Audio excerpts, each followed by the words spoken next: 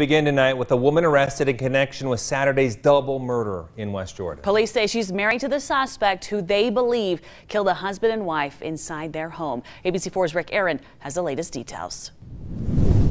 Police believe that 29-year-old Cena Ann Johnson knows exactly what happened here at the Butterfields house early Saturday morning, but she's not telling, and as a result, she now sits in the Salt Lake County Jail.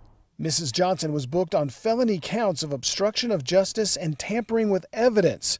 According to the probable cause statement, she spoke to her husband, 31 year old Albert Enoch Johnson, before and after the murders. They believe that Mrs. Johnson had information uh, to this investigation that she willfully, you know, withheld. She was untruthful with officers, and then additionally, uh, they they determined that, uh, or they believed or suspected that she uh, was also responsible for damaging or trying to discard some items that were of evidentiary value in the case.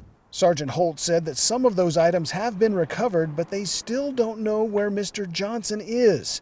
His wife told officers she purchased a plane ticket to Arizona but would not say why, leading to speculation that he could be there or a different state by now. He has some family members in several other states, and so there's there's really connections in a lot of different places. As a result, the WJPD has been reaching out to departments in several neighboring states, eager to get their hands on Mr. Johnson and maybe then some answers. It's kind of hard just having it be unknown right now that there's a, a person out there that was responsible for this that has not been taken into custody.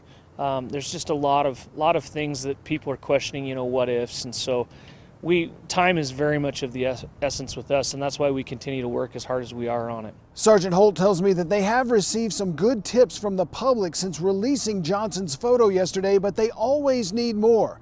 If you know anything about this case, call West Jordan Dispatch at 801-840-4000. Reporting in West Jordan, Rick Aaron, ABC4 News.